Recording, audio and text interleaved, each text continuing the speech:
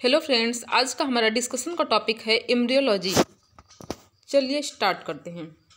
Embryology embryology is the branch of biology which deals with the development of organism embryology biology की वह branch है जिसमें कि हम ऑर्गेनिज्म के डेवलपमेंट के बारे में स्टडी करते हैं। Father of embryology is Aristotle embryology के फादर एरिस्टोटल हैं। और बात करें फादर ऑफ़ मॉडर्न एम्ब्रियोलॉजी की तो ये हैं वॉन बियर। वॉन बियर को मॉडर्न एम्ब्रियोलॉजी का फादर कहा जाता है। नेक्स्ट हम देखेंगे एम्ब्रियोजेनी। एम्ब्रियोजेनी क्या होता है?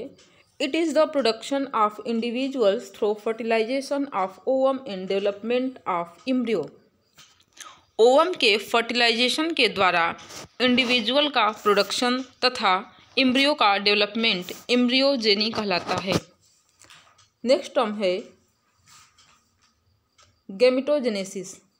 The process of formation of sex cell और gamete in the gonad is called gametogenesis.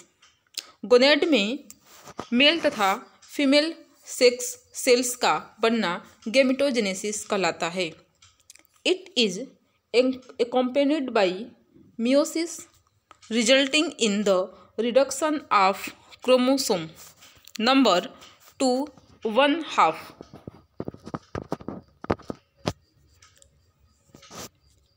इसमें मियोसिस डिवीज़न टेक प्लेस करता है एंड क्रोमोसोम का नंबर हाफ़ हो जाता है। गेमटोजेनेसिस में be of two types. Gametogenesis दो प्रकार के होते हैं। हमने पढ़ा गेमटोजेनेसिस। इसमें सेक्स सेल या गैमिट के प्रोडक्शन को गेमटोजेनेसिस कहते हैं और गेमटोजेनेसिस में मियोसिस डिवीज़न होता है, जिसके फलस्वरूप क्रोमोसोम की संख्या हाफ़ हो जाती है। गेमटोजेनेसिस दो प्रकार के होते हैं। चलिए देखते हैं कौन कौन से टाइप होते हैं गेमटोजेनेसिस के। फ़र्स्ट है spermatogenesis the production of male gamete और sperm also called spermatozoa occur in the testis by the process of spermatogenesis testis में स्पर्म या मेल गैमिट जिसको स्पर्मेटोजोआ भी कहते हैं, के प्रोडक्शन को स्पर्मेटोजेनेसिस कहते हैं। स्पर्मेटोजेनेसिस की प्रोसेस मेल में होती है, जो कि मेल के गोनाड यानी टेस्टिस में होती है। टेस्टिस में मेल गैमिट या स्पर्म बनते हैं। नेक्स्ट है oogenesis the production of female gamete और ova place in the ovaries by the process of oogenesis ovary में ओवा के प्रोडक्शन को ओजेनेसिस कहते हैं। ये फीमेल में होता है। Female gonad that is ovary में ओजनेसिस की प्रोसेस होती है, जिसमें कि ओवा या फीमेल गैमिट का फॉर्मेशन होता है। आगे देखते हैं। नेक्स्ट है क्लासिफिकेशन ऑफ़ एग एग को अमाउंट ऑफ़ योग के आधार पर एग को फॉलोइंग टाइप्स में डिवाइड किया गया है। फ़र्स्ट है ए लेस्थल एग, सेकेंड है माइक्रोलेस्थल, थर्ड है मिजोलेस्थल। ए लेस्थल एग में योग इज़ अपसेंट इसमें योग अपसेंट होता है। एग्ज़ाम्पल है मैमिल। सेकेंड है माइक्रोलेस्थल या ओलिगोलेस्थल। इसमें योग की अमाउंट स्मॉल होती है। जैसे एग्ज़ाम्पल है amphioxus and sea urchin third है मीजोलेस्थल। मीजोलेस्थल एग में योग का अमाउंट मॉडरेट होता है। एग्ज़ाम्पल है eggs of frogs and other amphibian Petromyzon and Dipnoi fishes ऐसा योग जिसमें योग का amount example of mesolecithal eggs is eggs of frog and other amphibians Petromyzon and Dipnoi fishes next है macrolecithal और megalecithal eggs large amount of yolk is present example है eggs of reptiles and birds macrolecithal eggs में yolk का amount large होता है और इसके example हैं eggs of reptiles and birds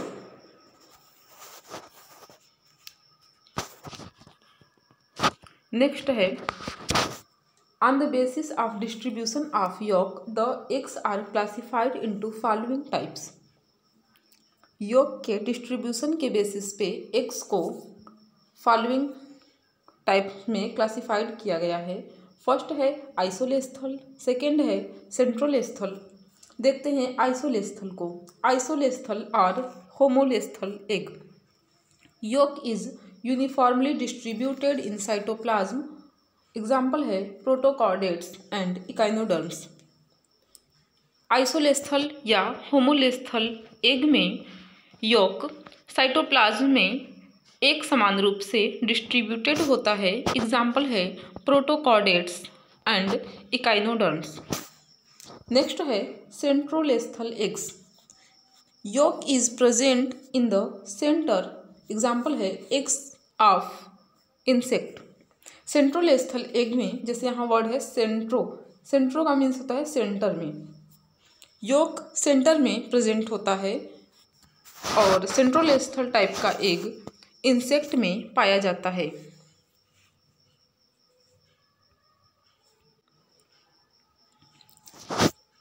next है fertilisation Of male and female gametes, that is, sperm and ovum, forming a zygote, is called fertilization. Male and female gametes के fusion के फलस्वरूप zygote का बनना फर्टिलाइजेशन कहलाता है। It may be cross fertilisation second है self fertilisation ये या तो क्रॉस फर्टिलाइजेशन हो सकता है या फिर सेल्फ फर्टिलाइजेशन हो सकता है।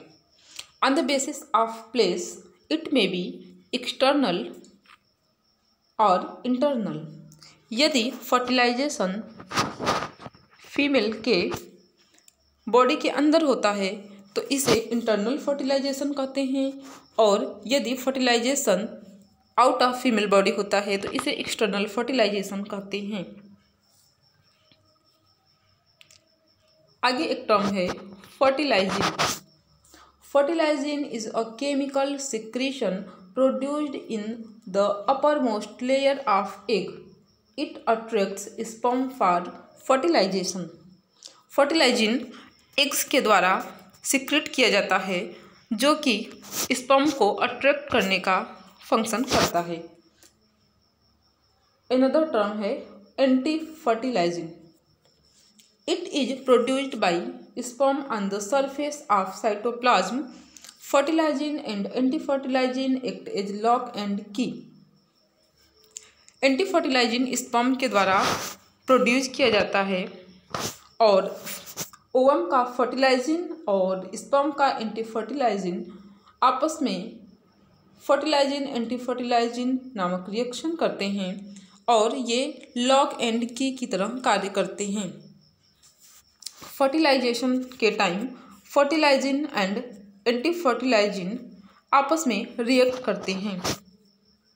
In this way the sperm of same species are identified by ovum for fertilization और इसी फर्टिलाइजिन और एंटी फर्टिलाइजिन रिएक्शन के द्वारा स्पर्म और ओवम का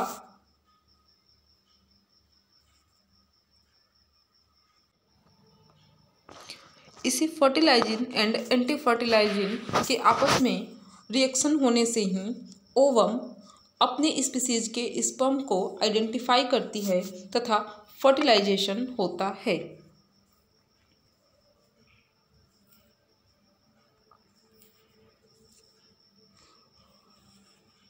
आगे है depending upon site of development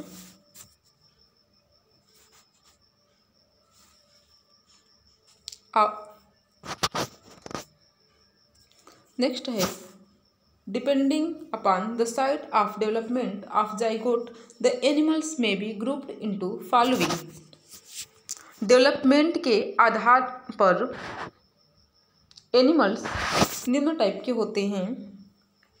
एक है ओविपेरस दूसरा है ओवोविविपेरस और तीसरा है विविपेरस देखते हैं ओविपेरस को।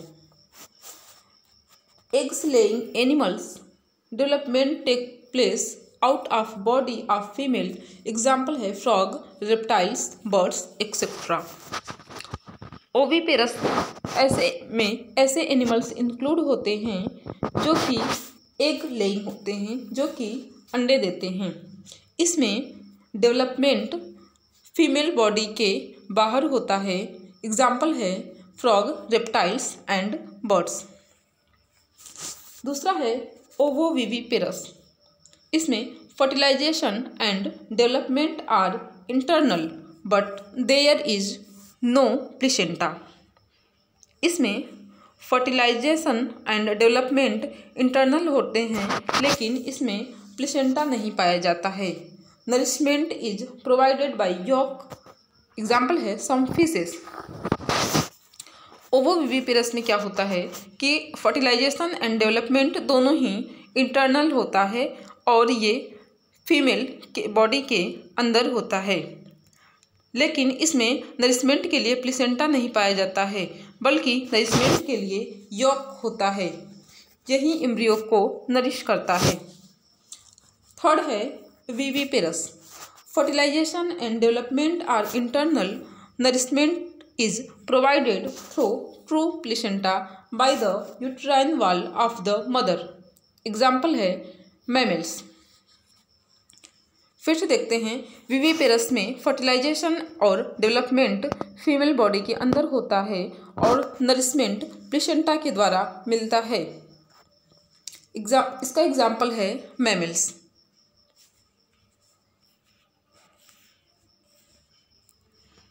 नेक्स्ट टर्म है cleavage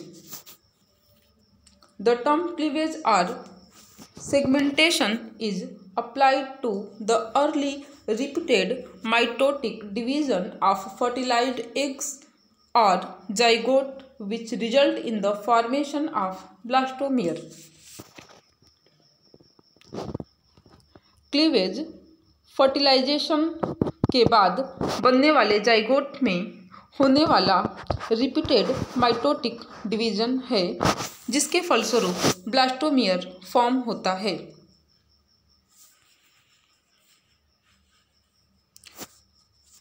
आगे है, क्लीवेज के टाइप्स। क्लीवेज के टाइप्स को हम नेक्स्ट वीडियो में कवर करेंगे। Thank you.